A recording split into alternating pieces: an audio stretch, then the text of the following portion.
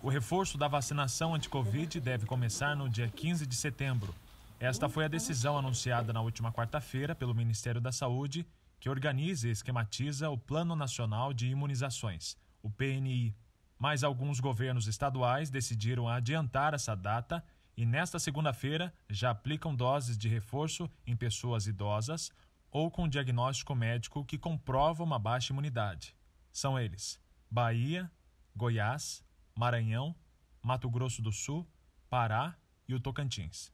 Além destes, o levantamento feito pelo jornalismo da TV Novo Tempo mostra que o Distrito Federal e outros 17 estados já anunciaram que vão começar a aplicação da dose de reforço em setembro. São eles: Acre, Amazonas, Espírito Santo, Mato Grosso, Minas Gerais, Paraíba, Paraná, Pernambuco, Piauí, Rio de Janeiro, Rio Grande do Sul, Rondônia, Roraima, Santa Catarina, São Paulo, Sergipe e o Distrito Federal. A maioria dos estados irá respeitar o PNI e só vão iniciar a vacinação de reforço a partir de 15 de setembro. A data foi escolhida porque, segundo o Ministério da Saúde, toda a população com mais de 18 anos já vai ter sido vacinada com ao menos a primeira dose da vacina.